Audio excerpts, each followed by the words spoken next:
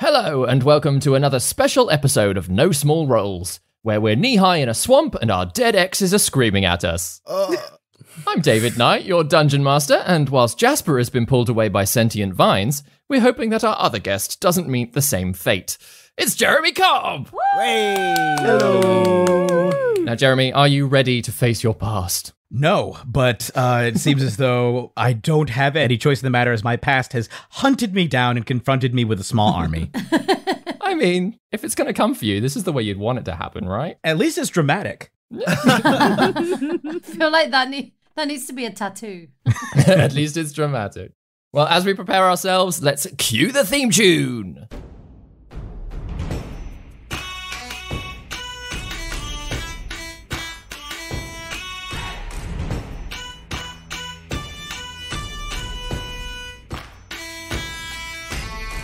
Prepare your party of players and polyhedral dice. Your tragic backstory better be worth the sacrifice. Seize your sheets and D20.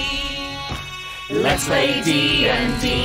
You'll have your characters wagons with daggers in each hand. You will discuss what you must, but even better lay plans. Take a turn when checks are missed. Roll initiative. Brandish your blades. Don't fail your saves. No risk to break, no choice to go. This is your story. No guts, no glory. Confront your fate with every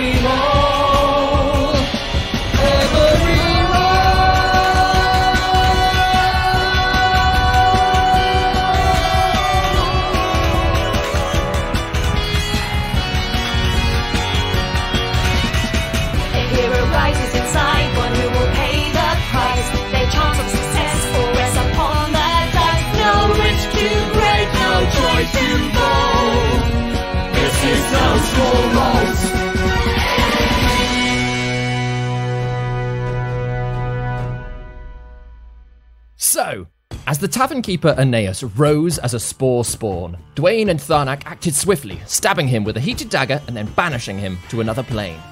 The issue quickly dealt with, Judge investigated the vines that the red flower had appeared on, and with Dwayne's universal speech, they learned that the rotweed had originated from a crack caused by an elf. Judge and Tarnak spoke with their contact Bartosz, who directed them towards Moss Hollow, mentioning that a research team of elves had headed out that way a few weeks earlier. His assistant, Ricky, was sent to guide you further out. As you all left Paladosa, Valerie and her crew arrived, still hunting their dragon quarry. Whilst their search was fruitless, a mysterious blonde halfling, Arthur, appeared and offered to help. Resting on their journey, Dwayne shared his past with his new companions, and as they continued on, a yelp from Tarnak alerted a nearby spore spawn giant crocodile to their presence. Vines launched out, dragging Tarnak away. Then Valerie and her crew came rushing in, and as the crocodile ended poor Ricky's life, Judge managed to deliver a fatal blow. Faced with his ex husband, however, Dwayne spoke up, only for Arthur's anguished scream to silence the wilderness around them. So that's where we pick it up. Arthur is stood on the back of this dead, fungal, bark like crocodile, staring at you. His, his pained scream silenced everybody and everything around you. And he just stares at you with those, those beautiful blue eyes. And he just repeats himself in the silence. Why did you leave me? Ooh, Can I roll a wisdom check for Dwayne in this moment? Absolutely. Okay. Dwayne stares into the beautiful blue eyes of his husband. He looks at the the rather frightening people that have accompanied his husband here. He looks at the corpse of the dead fungal crocodile, as well as uh, his ally, the judge, and wonders briefly about the fate of his other ally. Uh, looks around, see, realize he's spent so many spells. He's had just the worst possible day, and as he stands there, knees uh, knocking, he casts Dimension Door, and disappears, teleports 500 feet away, and then just start. He just takes off, running God through. damn you, you bastard! Where are you going? just I just straight disappear. damn you! Amazing. Tarnak! Tarnak! Wait, no, come back, come back. What the hell is happening? You, you're there. What the fuck? Who are you? What do you want? I want the dragon. What dragon? There's no dragon here. It's a damn crocodile. I thought that was the dragon, but he's run off. What? It's dead. I killed it. We I killed need it. the dragon's dragon. dead. My friend is underwater. Help me search Where for him. Kill it? Where did myself. he Damn go? it. Why are you shouting at me? My friend is underwater. Judge just dives beneath the swamp to try and find Tarnak. It's not like a dragon. Do we see where Dwayne's gone? Um, you two don't. Uh, you can see Arthur just kind of like his, his shoulders slump slightly. Deep sigh. And then he, he like just slightly turns in one direction and starts walking into the bushes. Um, Dwayne, um, how do, with Dimension Door, if you don't necessarily see where you're going, are there any drawbacks? Uh, it just says you can describe the place by staying distance and direction. You can bring along objects or bring along one willing creature. Uh, but if I if I teleport into a space already occupied by an object or a creature, you and any creature traveling with you each take four d6 force damage, and the spell fails to teleport you. Mm-hmm. Okay, okay. Uh, yeah, so you haven't. The, the, the spell has worked, uh, but you find yourself slightly on the edge of a, a sort of a sli- um, more of like a rocky patch, uh, less swampy. The area that you've found yourself in now, and as soon as you land there, it crumbles underneath you. Can you make a, a quick dexterity saving throw, please? Oh no. Uh, oh. Okay, that's a twenty-three. 23 oh no it's all right so um yeah the um the rocks give way beneath you and you kind of stumble back a little bit uh, and watch them as they sort of tumble down the area though as you sort of fall back you realize that the bushes and the vines are even more overgrown uh, here similar kind of um, you can tell it's the same rotweed that's sort of been expanding everywhere um, so there is some comfort that you're like well i can talk to this thing at least but at the same time, there's also the fear that any any one of these plants surrounding you could turn on you at any point. And yeah, so you stumble back like into a bush, right yourself, and just take a very quick breath. What are you doing? Uh, do I see no way forward? So, um, where you've landed, you can see that the um, the ground kind of goes down into a, a fairly shallow ravine. Otherwise, it's it's beating your way through bushes in any direction. I think at the moment, and probably for a minute or two, Dwayne is Dwayne has panicked. I think this is this is this is Dwayne fully losing his cool, uh, and just fleeing. That scream, uh, and the amount of pain that was contained in it. Uh, I think it's it's like when uh a sound resonates fre- like a frequency with like an object like a metal object. So you hear the mm. object start ringing. I think that mm-hmm. scream that art let out resonated with Dwayne and like Dwayne's heart. And Dwayne's heart was ringing with that same sound and he just fully panicked. I think Dwayne is just running probably stumbles down the ravine uh and is just like just like you know crawling all fours getting up slipping just trying uh desperately to get away until uh for probably a couple minutes until like he would probably collapse just out of breath because it because of his panic. Uh and then like it would occur to him this this doesn't change anything. Art is still coming.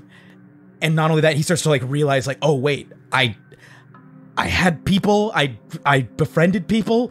I had oh no i've done it again. Uh and he's sitting there like why do i keep doing this to myself? I think that's what dwayne i think he's sitting there just like Fabulosa you've really done it this time. Why? Why every time you just god damn he just starts punching the the mud next to him uh and probably qu- quietly sobbing into his hand for a minute or two. Yeah, feeling all of the emotions, right? yeah. Yeah, it's um, it's it is still quite quiet around you. So as you've sort of fallen into this ravine and sort of stumbled along, uh, along and sort of sat down and you're having this moment, it's like your own words are slightly echoing, and that's really the only thing that you can hear at the moment. There's a brief breeze that sort of wafts down through the through the bushes into this into this uh, part of the the marshland, but there there's still no sounds of any other thing. So you can only hear your own words, your own tears, your own your own pain, sort of echoing around you, which is not making it any better. I'm sure. Mm. How long do you stay there for? Mm. Um, I think uh, let me let me talk through this because I'm not sure. I think Dwayne is one of those like, why every time? How long can I keep running? Like, Art, why won't you? You can't understand. it. You did it for a reason. I couldn't have stayed. I couldn't. Look, I could. I couldn't have been with. First, I lo- uh, like he can't even finish a sentence. It's like every single thought is like, oh, why? I why can't you understand why I had to do what I did? Why can't you just leave me alone and under and like let me live my life? Why can't you just pass on? I keep first I'm losing all these other people. I just lost Gwendolyn again. I got Gwendolyn back and lost her again. I made new friends, lost them, uh, and and I think he finally would. Uh, I think he'd start looking around like he always does. Uh, his instinct for another, the next, the not job, but the next, uh, the next thing, the next thing to pursue, the next, like I think he he's reminded of like the Vine situation. He's like, uh, I can distract myself with this. I can move. I can shove my pain away and shove uh, this failure away and move on and grab onto this instead. And I think he'd start looking around for some of the vines uh, again to see if he can maybe get to the bottom of this at least. Yeah. Um, and whilst they haven't fallen that far into the ravine, it's really not that hard to just like climb out a little bit and find more of them. They're scattered everywhere throughout this this space. So yeah, very easy. You sort of you find a couple of like gnarl that are like winding their way. Even as you're sat watching them, you can see them growing and expanding and pushing into the the the, the wet mud and the and trying to wrap around the drier rocks and like just expanding to every inch, like the worst kind of weed. Other plants are getting suffocated as they're being like sort of tightened and um, sort of dragged and pushed out of the way, all in a very slow, creepy, menacing way uh, at the top of this ravine. Can I follow the path of the vines to try and see where they lead? Yeah, absolutely. Make a uh, make a survival check to see if you can. Says they're growing in every direction. Okay. That's a natural 20, so that's a 23. Oh, that's beautiful. In which case, what I will say is, as you sort of make the decision to focus on the vine situation, focus on the rotweed, you sort of half touch one to figure out like where it's going. And as you start following it along, you realize that they are parting ever so slightly where you walk. And then further ahead of you, as you're sort of following the thicker vines, they're even the the bushes themselves seem to be moving out of the way and showing you a path toward their origin. I'm going to follow it. So you start pushing your way through through the foliage, um, and it's not long, maybe another sort of 10, 15 minutes of walking, when you come to a, a, a moss-covered opening. The area has become a little bit rockier, a little bit drier, less marshy, and you've wound your way down into another sort of small valley. Um, and there is this the the rocks are covered in moss, and there is a, an opening to what you can assume is a cave.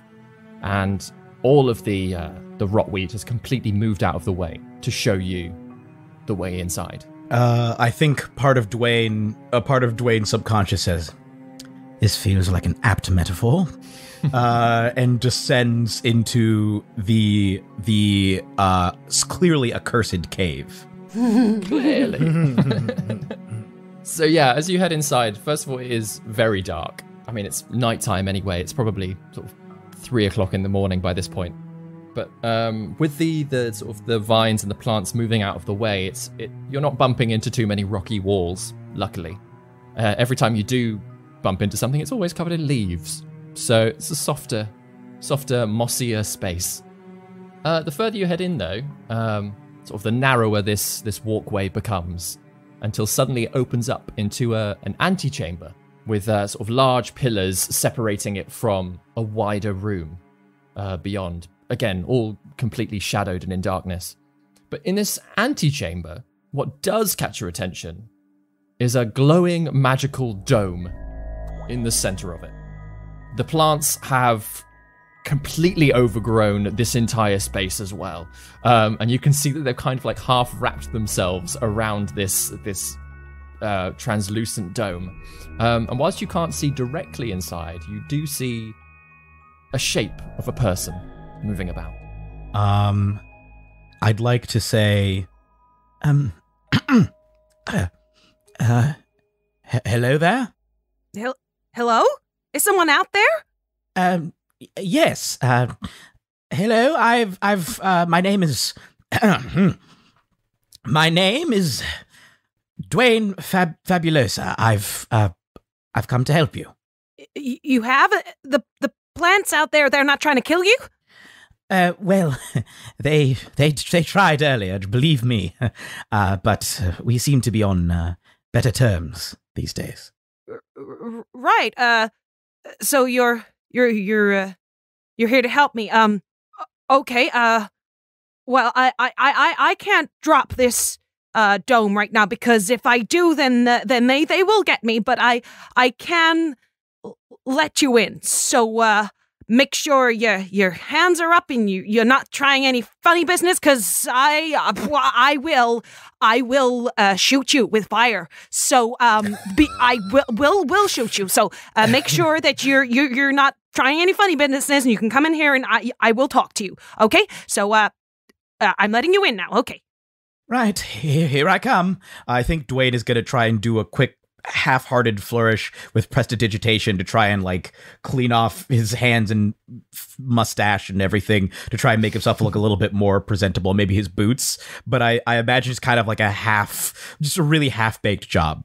Uh, and so it's very he just has very patchy uh dirt and mud as he like steps forward with his little hands in the air Uh, so as you as you as you enter this hut, uh, you are presented with a elf um, with kind of greenish skin, um, messy uh, grey and brown hair, kind of piled up on top of her head. This hut does not smell good. it does not smell good. It does seem like she has been in it for quite a while. Uh, she looks pretty rough. She looks haggard and stressed. She's wearing kind of like khaki, um, like uh, shirt and shorts and practical boots and socks uh, with. And um, but yeah, she looks just very, very stressed and does not smell good. Uh, I think Dwayne, as he steps forward, uh, is going to try and like kind of subtly cast prestidigitation to clean as much of this room as possible and just emit positive odors. I think, I think a, as he steps in, he's kind of hello, hello. Oh, it's very nice to meet you. Ah, sorry, what's your name? Uh, oh, um, I, I am Professor Fid, uh, Triffany Fid, but, uh, you can call me Triff or Triffany or Professor Fid. I don't care, actually. I really don't care. Yes. Um, I care about fixing the situation outside. Uh, right now, tell me, uh, what, what's it like out there? How bad is it getting? Oh, it's um, ooh, it's really smelly. Uh, uh, really. Uh, excuse me, I need to wipe my eyes. They're watering. Um, I, I've been in here for a week, okay? I have Oh. done my very best. I tried burying it, but you know, it's it's hard, okay? There, uh, I hope it's not too hard, or else you're really in trouble. I mean, yeah. um, Dwayne's going to say yes. Um, yes. You said uh, Triff or Professor is what you prefer. yeah, just whatever you want to call me. Uh, Triff is fine. Yeah. Okay. Uh, well, Triff, uh, uh, situation's rather dire, I'm afraid. Oh, God. Uh, there's the, the, the vines have spread into the nearby towns, throughout the forest. Uh, they seem to be Oh, choking the life out of the forest. Uh, they they even spread into the town, into a into a, a tavern, uh, and un- unfortunately colonized one of the people inside of the tavern, uh, who became a vicious, terrifying uh, fungal monster. We had to burn the whole building down. Oh, that's that's awful and fascinating. I, I wish I'd been able to watch that happen at the time, just to be able to document it and see how. The, but but obviously it's terrible. It's terrible. But oh my goodness, I didn't realize that such a thing could occur. Very interesting. Um, right, right. So, uh, you you'd say it's definitely bad out there then? Yes, defo. Defo. Okay, okay, all right. Um, now, uh, uh I uh may have something to do with the uh, the origin of this uh, phenomenon. Um, myself and my team were here, uh, uh, alas, and uh, rather inconveniently, my team were devoured uh, and uh, repurposed by the plants.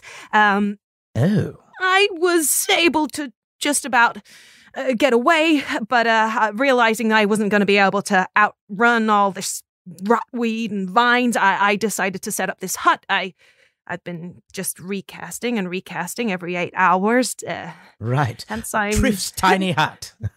yes, indeed, my tiny hut. Yes. It's very tiny. Um, just like you, you're very small. Uh, I'm not good with people. So, um, I have been working whilst I've been in here. Um, we we discovered a natural source of energy. Uh, a something that we decided to track down. Uh, seems to be some sort of magical rock. Uh, formation, a, a henge, if you will. Uh, now, I will, yes. uh, uh, you will. Great, great. You're with me. Uh, fantastic. I tried to dumb it down for uh, the people who aren't of my understanding and learning. Is you see, I imagine you're some sort of musical person from looking at you. Uh, Guilty yeah. as charged. yeah. So just uh, let me know if you can like keep up. I'm trying to, you know, keep it nice and understandable for you. Um, doing but what happened? Thank you, thank you. Uh, now, uh, what happened was um, we decided to do some experiments on this uh, natural energy. I, I'm personally particularly interested in plants. It's kind of a hobby of mine as much as uh, my uh, academic research. Uh, and we've been working on how that they communicate with each other. Uh, You know, uh, plants are really complex things, more complex than people, and much more tolerable, in my opinion. Um, we decided to use the energy from this henge to, uh, well, enhance their communication. Uh, we wanted to see if we could learn how to understand them easier. Uh, however, uh, one of the stones got damaged and formed a crack, allowing the internal magic to rupture through uh, and rapidly expand the plant that we were working on. Uh, that that that's when it consumed my team.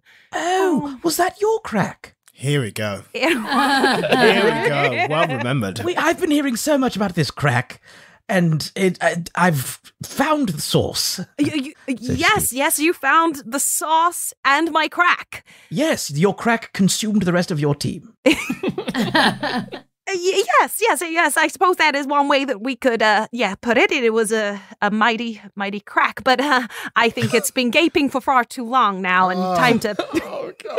Yes, time to close up shop, so to speak. I think yes. Sort of, uh, it needs to be. it should be more of an exit only rather than uh, a situation. Right, yes, I'm right with you. Um, y- yes, thank you for explaining. Um, I, I think Dwayne starts to look around. Um, I might be able to help. I, I hope. I hope I can help. I hope um, you can help. Yes, um, I do uh, have an ability that would allow me to speak with the plants. Uh, however, unfortunately, I've already used it for today. Um, is this is your is your situation urgent? Well, uh, I mean, you've told me what the situation is like outside. It seems that it's just Yeah. expanding and expanding, and it could get a lot worse uh, if we don't cut it off at the crack, uh, so to speak. So, Yes. um, Pinch it off, so to speak. yes, absolutely. There we go. That's a Yes. great, great terminology you've got there. Wow, there's possibly a, a wizard within you. Maybe I don't know.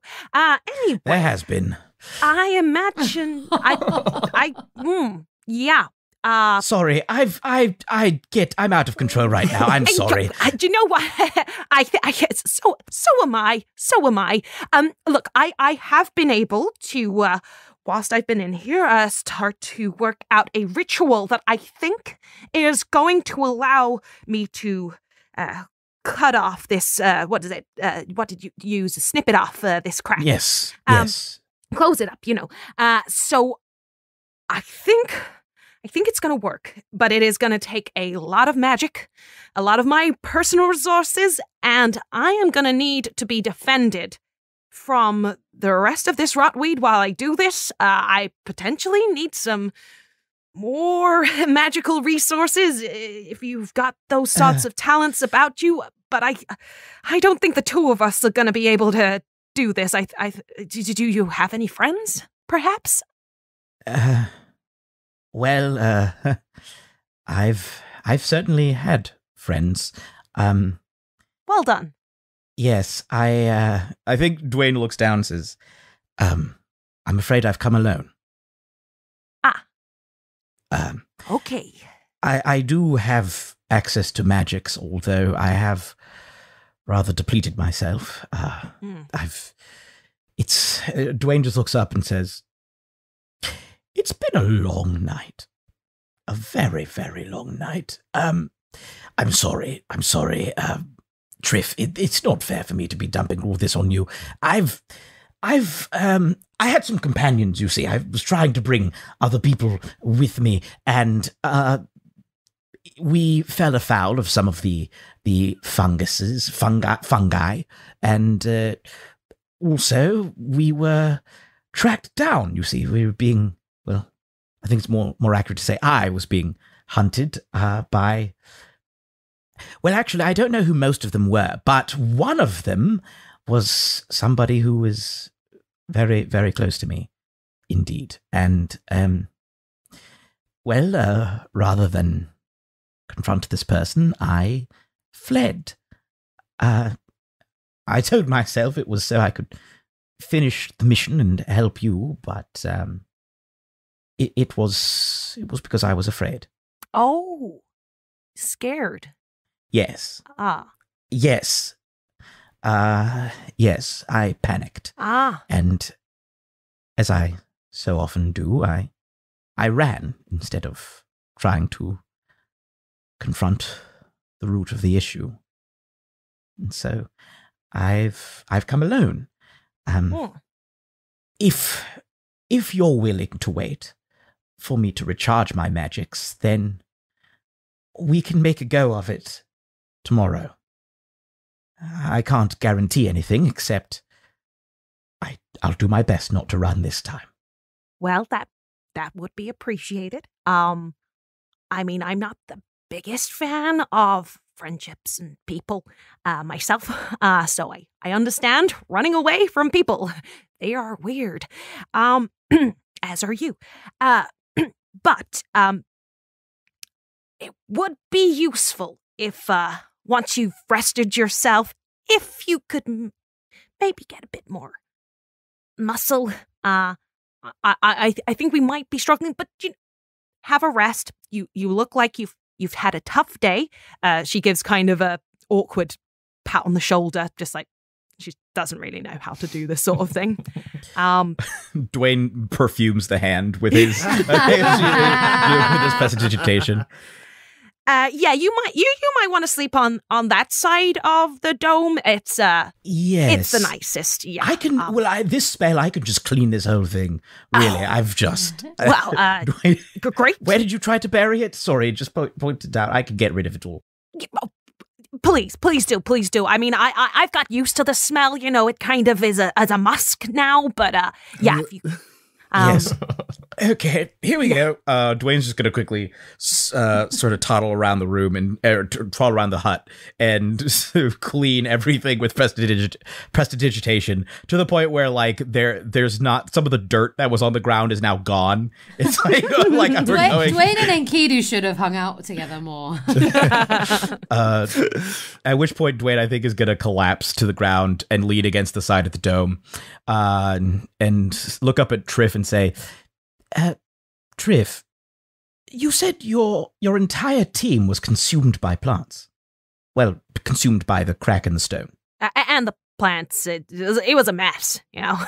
How? The the the the, the plant itself, it, it we we were using once the crack happened. The plant that we were working on, it, it it started to grow, and that's when it started to like you know, ugh, take them in. Yes. May I ask you a question? A personal question. Uh, you may ask it. I don't know if I'll answer, but let's see. Okay, that's fair. Um, w- did it bother you to see the people that you had worked with, people who whom I presume you you cared about, uh, lose their lives because of a a mistake you made? Um. Well, I. It was terribly inconvenient. Yes. Uh, yeah. Um, and, and I, I, I, if I make it out alive, I, I will send uh, my condolences to the families. Um, I think one of them was called Bob. Oh, yes. Uh, so I take it you and Bob uh, were not particularly close. I, I'm not particularly close with people. Uh, Yes, you said. I, I, I like plants, and uh, I, I talk to people when I need to, but maybe I'm not the best example of uh, connection. Uh, Hmm. Perhaps I could learn a thing or two from you. Uh, I mean, let's turn the question back on yourself. Do, if they were your friends, would you have felt bad? I think it would have haunted me for the rest of my life. Well, that sounds incredibly distracting. Uh, yes. I suppose you might say disruptive Mm. to all future engagements, relationships, ventures, sleeping, eating, uh, having peace of mind. Uh, yes. Very, very disruptive, distracting indeed. and uh, if, if if I were if I were coming to you as as as a friend, she Hmm. does in air quotes, uh, and I said that I was having these problems, would would you give me advice? Ah, Well, uh, if you were interested in, in advice, of course, uh, then I would. uh, what what what would you tell me to do? Um. Well, I. I think I would tell you to stop running, and do whatever you had to do to make it right. Hmm. Uh, yes, wh- whether that was, of, of course, if they're dead, you you can't do anything for them anymore. Nope. uh, Unless they were like coming back from the grave or something. that would be that'd be a lot to deal with, wouldn't it? oh, yes. uh, yes. Um, but uh, say you uh, they had a family member who looked shockingly exactly like them, and you could go speak to that individual. Perhaps even had the exact same name, just a cousin who was uncomfortably similar. Mm. Uh, perhaps you could go and speak to the cousin and try and give the family whatever peace they could have gotten. Tell them that their death was a tragedy and that you're sorry that you couldn't have done more to have tried to help them and you're you're sorry that you made the mistake. You didn't realize you weren't trying to do anything wrong. You were just trying to you were just trying to survive like all of us out here. And you never meant to to put them in that situation. And you never you certainly never meant for them to well for them for what happened to have happened. And you you don't think you can make it up to them Well, yeah, some sometimes experiments work, sometimes they fail. But if you don't try them all out, then how will you have conclusive results? So, sounds to me like you've experimented with running away. Sounds like it's time to try a different route, maybe listen to your own advice. Hmm. Uh, you know, Triff, uh, I think you're a little better with people than you give yourself credit for. Oh God, really? Yes, it's one of those hidden talents. Take it from someone who knows how to talk to people.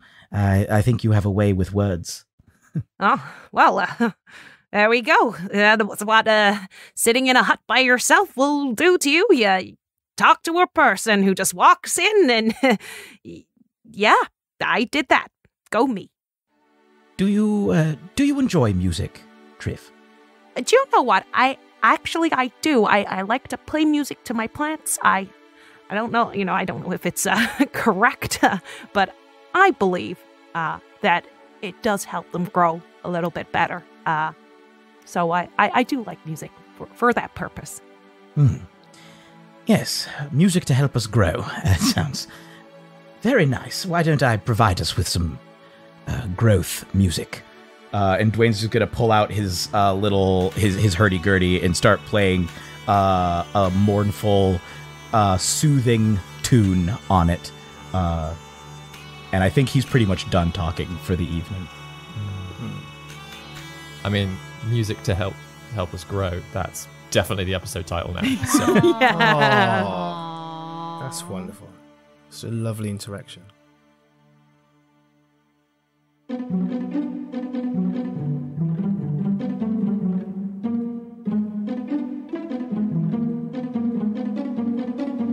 Grace here, keeping you updated with all things No Small Rolls related. We are thrilled to have just hit 1,000 followers on Twitter. To mark this auspicious occasion, we are doing a giveaway. So if you want to win yourself a copy of Monsters of the Multiverse on D&D Beyond, head over to Twitter.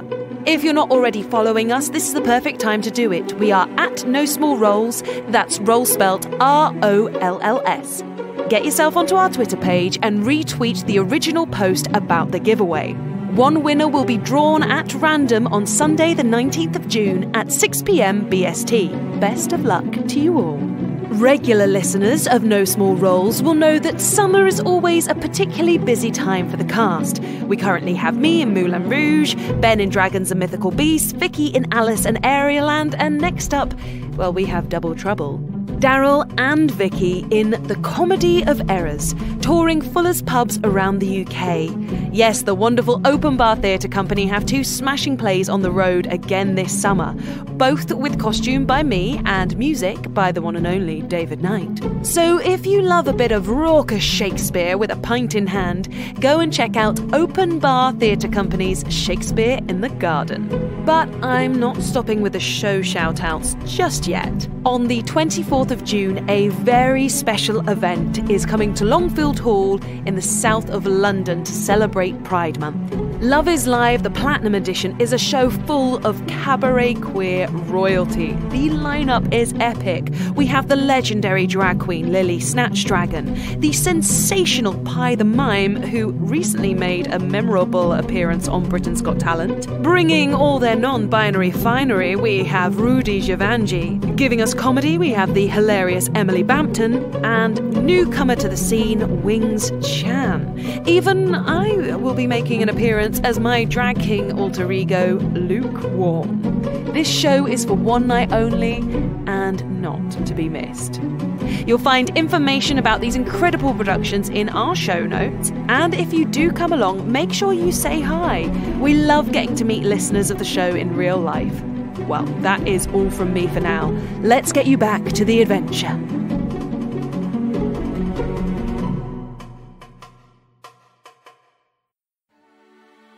So, yeah, as you, uh, the two of you sort of sit in each other's company, just listening to this music, probably about two hours go by. Again, so you maybe have a little bit of small talk, share some food. When you're interrupted by the sound of commotion coming from outside of the dome. There's clattering of, of feet on stone. There are shouts um, from a couple of different voices, and panic, and then surprise, and then maybe a little bit more panic um, as uh, three figures sort of collide with the outside of the dome. Uh, Judge, Valerie, and Arthur are all Okay, Here yeah, they thank come you. to I was ruin the about to mood. say, I was like, who now? What's happening? Chris pops up. Hello. Three more people enter the Zoom chat. yeah, yeah. Um, so yeah, um, outside the dome, the plants are not being as nice to uh, you guys as as they were to, to Dwayne. Um, and you are having to fight back. You have been battle scarred, like you're coughing all over the place where some of them have sprayed spores into your face. You're holding it back, luckily, but you are not in a good position right now. These damn plants. I will cut every last one of them. What they did to Me Tarnak. God, God, Ah, Die, you tiny Took spores! my friend. Took three of my friends! Triff, I know these people. These are the people I know. That Triff, Triff, let them in. You're, you're, are you sure? They sound scary. Yes, yes, I know them. I know them. God, die! Die! Damn plants. Okay, uh, uh co- come in, come in. Don't, I'll shoot you with fire. I'll cut you with an axe! Hell, inside of the dome. Inside the dome. It's it's. You. You, you bastard! You left Tarnak to die! Tarnak is. Oh, and he's coming after Dwayne. Uh, th- Triffany gets ready with like uh, some sort of like fiery thing. Uh, I'll- you know, one of those spells that wizards do. yeah. Va- Valerie stands there like, I'm never in this position where I don't know who to fight. yeah there's a bit of like a weird showdown where like on each side of the of this dome you've got triff there with some fire. Dwayne just shocked the fact that arthur is once again stood in front of him. Arthur looks like it's probably the worst you've seen him dwayne. He looks haggard. He looks covered in mud. And uh, normally, when he's been haunting you, he's been very pristine, but now he just looks like a normal person. Um, Valerie is ready there. Judge has got shooting daggers at you, Dwayne. Uh, confused by the uh, the fire wielding elf in the corner. What are you all doing? Those fights have got to die soon! Uh, I think Dwayne was initially like scared of Judge when he comes running in, weapon drawn. But as soon as he sees Art standing there, uh, looking alive, I mean, just based on this, like, like he looks like he's actually been physically interacting with stuff. Like it's not hmm. the ghostly apparition. I think that Dwayne has kind of been used to. I think Dwayne is just like taken with this because it's of course he's scared of art in general, but like now it's like whoa, and it's like I think that the the feeling that Dwayne has is of being taken back to when when art actually was alive, and I think he looks at art hmm. and he says, "Oh."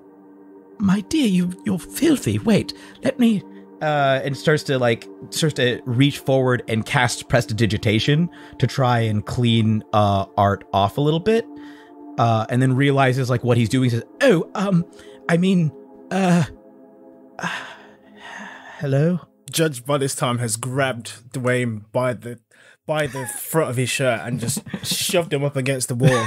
like, what the hell do you think you're pulling? Tarnak is dead. Damn it! Oh, I I'm terribly sorry, Judge. I Look, I I'm a coward. I was scared of um well, you see that uh, this fellow standing there. Um it's my e- ex-husband. Damn Just kind of looking at art. Are we still? You're ah, and he just lets lets him go, and he just he, he doesn't know what to do with himself. He's like so much is happening right now. I'm so sorry, Judge. I know what it's like to lose someone close to you. It's never easy.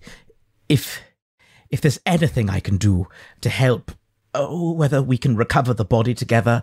Look, I know people who who might be capable of of resurrecting your friend. Uh, Resurrect. I need to find him first. I've been searching for hours. I haven't seen a single. And he sits, he just sits down. He's a mess. Like he's Tar- Tarnak was my Tar- Tarnak was my only friend. My only friend. I only had to keep him safe, and I couldn't. What are you? Is this what you do? You flit from person to person. You you you you leave them. You hurt them. You use them. You ah you you're a curse. You're a curse. That's what you are. Damn it. And he's just head in his hands, just just ah, f- just frustrated. Listen, friend, in this scenario, what you must understand is this is not your fault. It's his. And she points a meaty finger at Dwayne. Yeah, Don't blame yourself, Judge. Don't blame yourself. Blame him. Ah! Jolly good. she's right. Yes. I do blame you. Now, I know we're in a situation right now, and I know these plants are killing people everywhere, left, right, and center, and they killed Tarnak, and we need to solve this first. We kill all the plants. Yeah, she sounds crazy, but she's right. We killed the damn plants. We gotta find Tarnak next. I just. Well, well, Damn well, it. well, uh, actually, uh, uh, it, hello, uh, Professor Triffany Frid has kind of she she's kind of uh got herself away from everybody as much as possible, but uh, she's kind of seeing people calm down a bit, and maybe this is the time to talk. So, uh, hello, I am uh, Professor Triffany Frid. Uh, I uh, I I might be able to help with the plant situation. Um, uh, cut it off at the source. Uh, I I I maybe slightly involved with how this has all happened. Uh, uh, but uh, I, I do have a plan in mind. Uh, but what I really need is uh, uh, people like all of you that uh, have muscle who can uh, fight off these plants, kill these plants while I do the ritual. If any of you um. I'll do that. Yes, Great. definitely me. Oh, oh, fa- fa- fantastic! Yes, you, you look uh, like you're ready to fight those plants. Yeah. I wanted just to put an end to this. So, damn it. Yes. All right. Oh, okay. Just- An end to just- the plants and an end to the dragons. Ha! Uh, fan- you're you're very loud. Uh, yeah, yes. very good, very good. Uh, Just tell us what to do. um, I I believe uh, you, your uh, friend, she does air quotes once again, pointing at Dwayne here, who needs to to rest a little bit. Um, I don't know if you do too, but uh, I, I I could do with you all being firing on all cylinders uh, to be able to uh, complete my plan. Okay, so uh, if you need a little rest, take yourself a little seat, try and calm down. Uh, I prefer a more relaxed atmosphere. Oh, inside voices, that'd be great. I'll try my best. Dwayne's going to stand up, I think, uh, and say, "No, I, I think we shouldn't drag this out any longer. Let's, let's get rid of the curse." Sooner the better. Let's do this now. Yes. Okay. Uh, if you're ready, then, um, uh, what we will need to do is we will need to get to the source of uh, where all these plants are getting all their extra uh, powers and what have you. Um, uh, it's a crack in a stone, uh, not too far from here. Um, we are going to need to, get up to uh, within five feet of it to for me to be able to start the ritual. Now, I am going to be putting as much of my own personal uh, power and resources into it. If any of you are uh, magically inclined, uh, it would be fantastic if you could also send some of your powers that way. But we're probably going to be having to fight off uh, the plants at same time. So, uh, whatever your skills are, uh, that'd be great if you could do that. Uh, it is going to be a lot of resources, though. So, uh, Fine. Just so long as I can, I can hit something. Oh, I'm with you there, Judge. Not a stitch of magic in me, but I'll fight. To, I'll fight. I'll, I'll fight. Yeah. oh, fantastic! That's that's exactly the the spirit uh, I need. As a as a point, as you're looking at the the three that have just stumbled in Triffany, Valerie, Judge, and Arthur are all hurt. They are. You're not at full capacity. Oh. we'll say. um, So, I mean, I'm healthy. well, rolling some dice in the fight to get here. Oh. Um, Right. Okay. Val, you've lost 19 hit points, and Judge, you've lost 15. Uh, okay. Never So- mind. I'm alright though. Just you know, you know, it's it's Yeah. Yeah. not necessarily enough to take you out, but enough that you know it it, it hurt you if you don't rest. Yeah. I'll say. Who seems to be the most hurt? I'm cool. Um, I could probably help out if I'm in the mood. Um, Because Dwayne has Dwayne has Dwayne can help with healing if anybody oh, actually, needs I it. can't. Mm. I can't. I gave all my healing to you. so, how about that? Maybe we we should just have a little snooze. Yeah, I, I think you all look uh, absolutely rubbish right now. Uh, you look like you need a rest, so uh, I'm gonna have to enforce that actually. Right. I suggest you go for a rest. And she uses suggestion. Whoa. Amazing. Um, what do they need to make? Is it wisdom saves or? Uh, Did you just say you cast suggestion? Yeah. Oh, dang. amazing. Amazing. She doesn't really know how to persuade people how to do things, so it's, it's all she can really. Uh, uh, Yeah, it's a wisdom save. Thank you. Is that a charm? I think it is. If it's charm, it doesn't work on judge. Uh, but Vicky and uh, Jeremy get a plus three from me. I, d- I don't know uh, when when you can't be charmed um as a berserker. I don't know if I've hit that level. I'm a drow. I can't be charmed. Yes, creatures that can't be charmed are immune to the effect. So, Brilliant. Dwayne, I think, is just going to choose to fail. Great. Yeah, I th- actually I think yeah, Valerie's up for a rest. She don't want to die. Yeah, Judge um, likes the idea of resting, but he he will like give um, uh, Triff a look to say as if like I know what he just did, but I'm just letting it slide. As he unsheathes the the the fourth commandment and just sticks it in the ground, and then he just sits, arms folded, and leans against it. And she just mutters under her breath, This is why I don't do people. Uh, Dwayne will sit, uh, uh, sort of like lean back against the the dome and say, "I suppose the curse can wait a bit longer," and then just sort of stare up at the uh, the ceiling. Um, the entire time, Art is just stood on the opposite side of the dome, staring at you, Dwayne. Absolute daggers. Not saying a word, just waiting. Uh, I think once Dwayne realizes that, uh, he's gonna turn, look uh, at Art and say, "Would you like to talk now?" Why did you leave me? Because I was afraid. That's why I do everything. I I do everything because I'm afraid. I was I was afraid of what your family would think of me. I was I was afraid of those elves. I was afraid of the look in your eyes when when you realized I'd caught you in my in, with my slow breath. I I was afraid of whether or not I'd meant to do it. I, I thought it was an accident, but I was afraid that perhaps I, in a moment of panic, I had deliberately tried to slow you down. I was afraid of what would happen if I stayed. And then when you came back, I was afraid of what would happen if you caught up to me. I was. I've been afraid of. been afraid my whole life. He starts to walk slowly across the dome toward you. And when he's inches away from you, he just says, It wasn't so hard to admit, was it?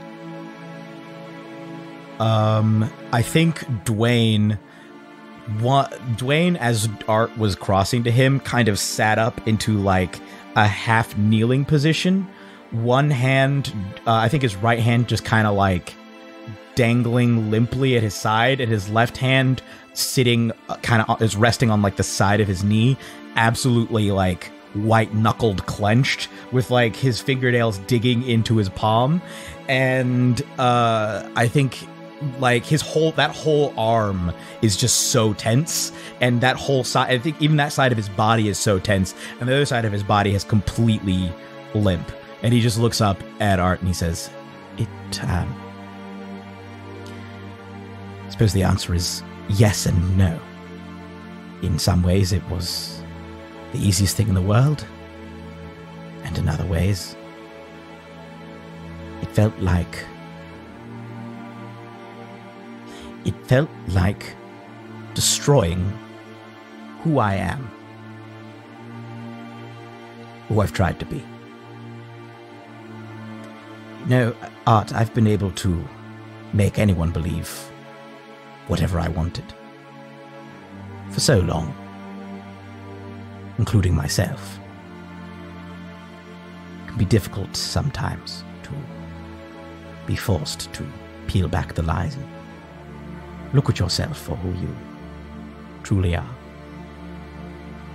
But um, that's that's who I am. I'm a coward. Uh, and I think he he'll look up and, for the first time in this whole conversation, uh, possibly since Art's death, uh, he'll look up and make full eye contact with Art, and he'll say, "I'm sorry. Whatever you choose, whatever retribution, I submit." He leans even closer towards you and just kisses you on the forehead. And places a hand on your cheek. Squeezes it just a little bit. Says, if you ever lie to someone you love again, you'll see me once more. Do you understand? Yes. Good.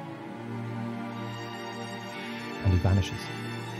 Uh, I think Dwayne just fully collapses to the ground uh, and starts. I I think it's like it starts as like like an all fours kind of collapse, and then just transitions pretty quickly to a full like limp on the ground, uh, heaving and sobbing. Hey, what happened? Hey, hey, hey, are you okay? Hey, hey, hey, he's collapsed. Hey, help! Uh, what happened? I'm just gonna look him over. Hey, hey, hey, get yourself together, man. What happened?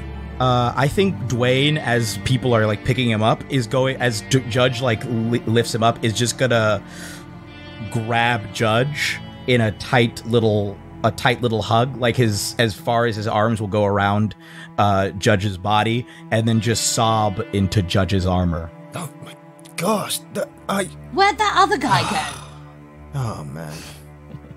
Okay, okay, buddy. Okay, okay, okay. You, you, whatever it is you've got welling up inside you, you, you let that, you let that all out. You, you understand? You let it all out right now. Damn it. Judge is crying too. oh, keep it inside you and use it for the fight! um, Judge is crying too. Like, it could do to have some quiet right now. We just hold each other and cry. oh. It's grown ass man tears. Yeah. Hell yeah. I think as he's crying without realizing it, Dwayne is going to start transforming back into a dragon. As if, like, by letting go of all of this, it's just like he lets go of the halfling form. So as you guys are crying and embracing, uh, you're just suddenly like holding something that's much larger now. Oh my. Oh my. Oh, oh. Oh, damn! Here's the dragon! Here's a dragon! Ah! Damn it! Valerie, like, wields her. Uh, what's she got with her? Weapon. her battle axe. Judge swings around at a scream and tries to meet the meet the attack. Ah, but he's a dragon! yeah, but he's he's he's kind of my friend, so I can't let you kill him. But D- he's a damn it, I have no idea what's going on. So what if he's a dragon as my friend. I have sworn an oath to kill all dragons! Yeah, but you, this you know this guy He's different. He's not. Why do you need to get get off? And I tried to like back her up. How's how's this affecting the hut? It is getting incredibly tight. yeah, it's so. Uh, okay, oh, okay. Like as it's getting pushed up to This is what happens when you let dragons in! You can't just This is bloody what murder this guy. We need his. We need his strength. We need his strength. We can't just kill him when these murderous plants are killing everyone. We need someone as strong and as big as this guy to kill all the plants. Fine, but when we kill the plants, I'm killing him! Uh, no deal. but, Deal? uh, no, no deal. No, that's a terrible deal. that. Why do That you think I'm doesn't sound with like a that? good It's a very plan. good No, deal. it's not a good deal. No, this is this is getting very tight in here. This is not much room. Uh, Okay, everybody, well, calm down. And Ju- oh, and Judge is being squeezed against the side of the room. Okay, I, I'm glad you opened up to us, but you're you're killing us. You're killing Sorry, us. I'll, I'll shrink a bit. I'll shrink a bit. Uh, he's- he holds up kind of a scaly hand uh, as he's kind of like in a half uh, halfling, half dragon form right now, and he says, uh, "I don't." I, I he, he's gonna look at he's gonna look at Valerie and say, "I have no quarrel with you, but uh, clearly you have a quarrel with me, so uh, if you would please be willing to set aside your your oath for just the time being, I'm sure we could come to some sort of an understanding after after we avenge your your uh, sailors, troops, crew. Well, I mean, they died. It's quite upsetting, but it doesn't bother me that much. Right. after we stop the plants from consuming this entire land. Yeah, I just don't want to die. After we prevent that, then we can we'll have a talk. then How's we'll that? renegotiate, shall we? Yes. Yes. Sorry, I've I'm really having a moment right now. I don't know if that's clear.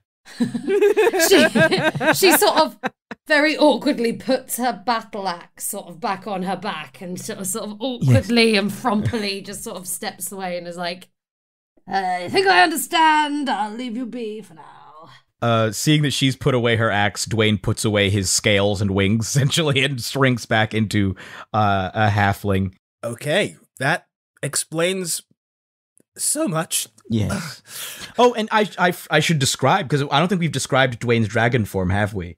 No, it's always just been blue blare and wings. But yeah, So yeah, he's got like uh, b- uh bright blue scales that are the same color as his facial hair, uh, and his this bright shiny copper underbelly.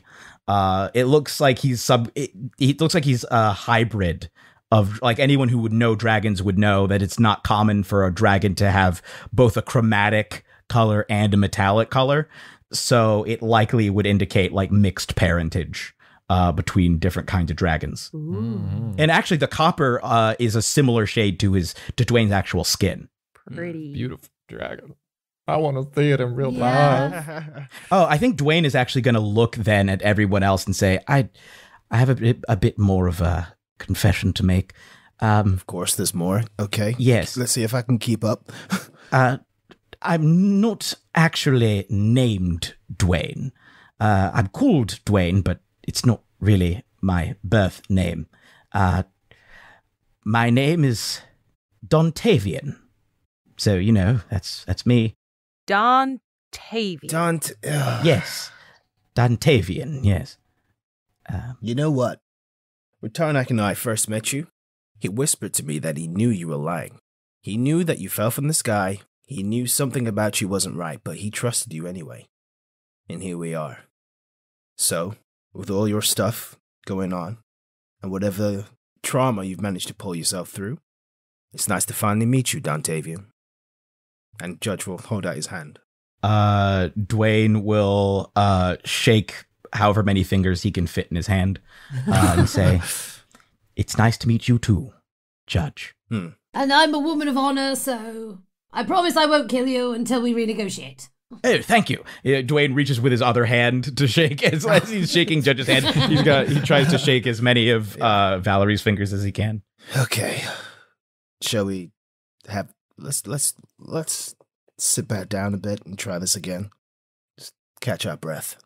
A- and and please, please get some rest. You all look so so bad.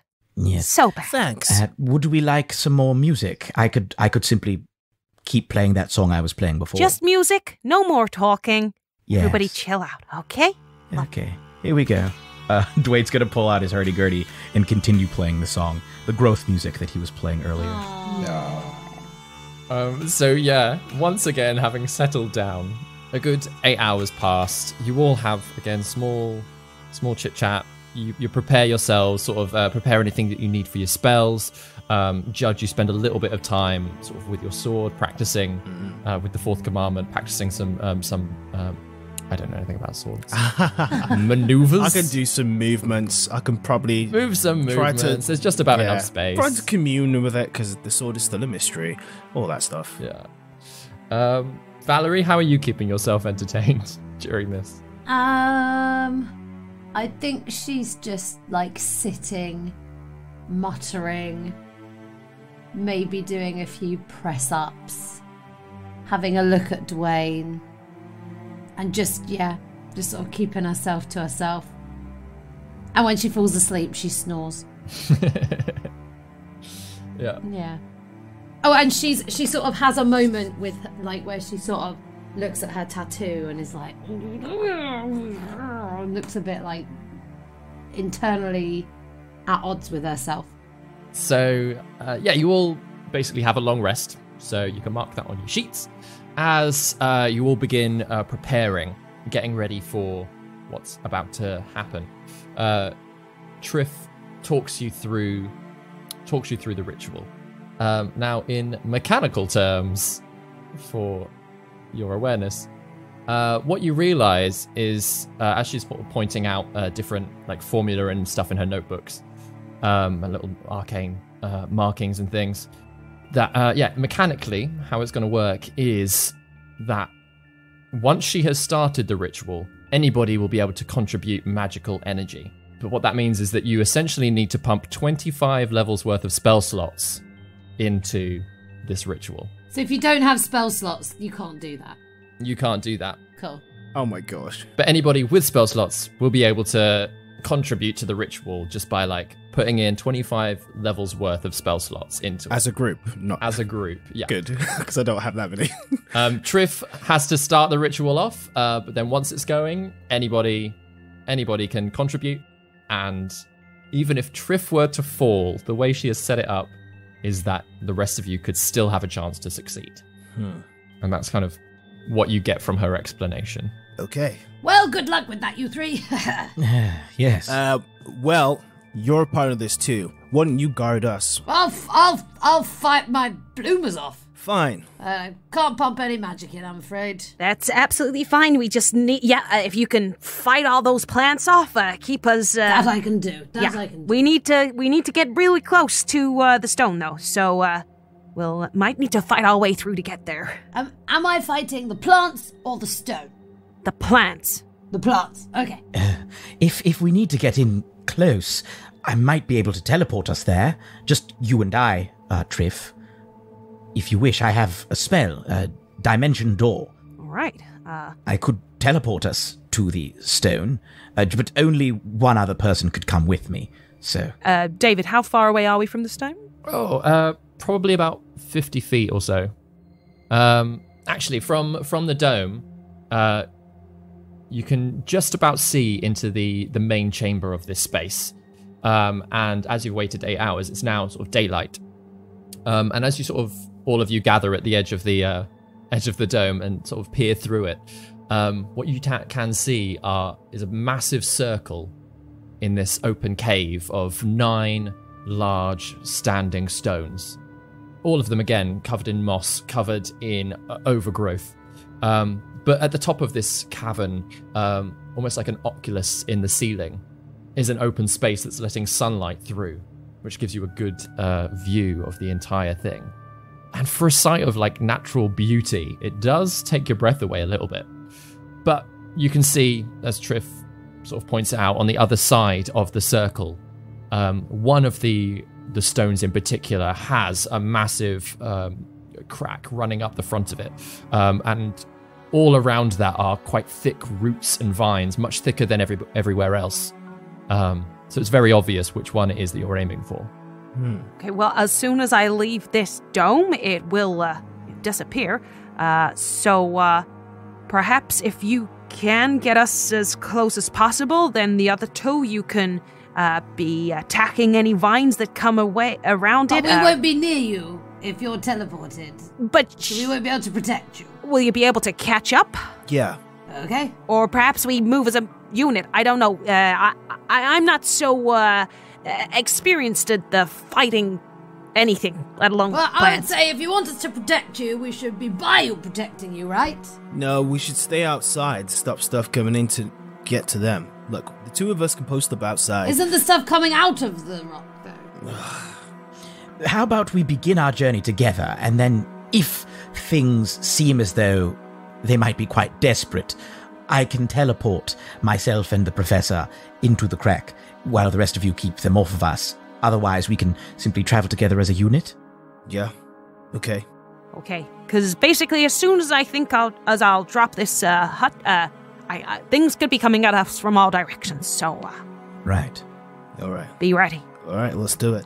Dwayne's gonna Dwayne's gonna yeah draw his rapier in one hand, uh, and then like sort of and then with still kind of holding it, put it on the uh the handle of the hurdy-gurdy which he's holding under his other arm preparing to either start swinging or casting spells whichever comes first.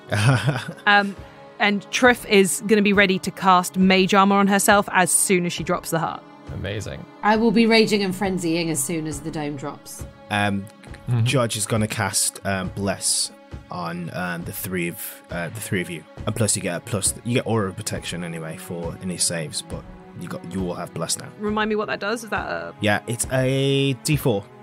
You add a D4, so you, you add a plus three on top of your normal stuff because of aura of protection, and then you roll a D4 for bless. Brilliant. Okay, uh, well, uh, let's let's go fix that stone, shall we? Uh, I'll, I'll count us down. Three, two, one. And that's where we'll end the episode. Delightful. Well done. yeah So much. Oh my god. Oh.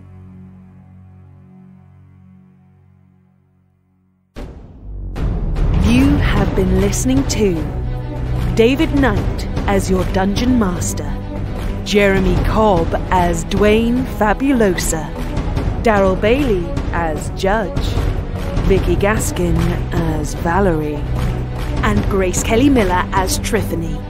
Original music by David Knight. And this episode was edited by Pippa Beckford.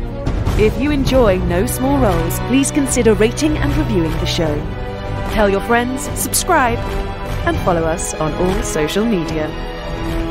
Thank you for listening to the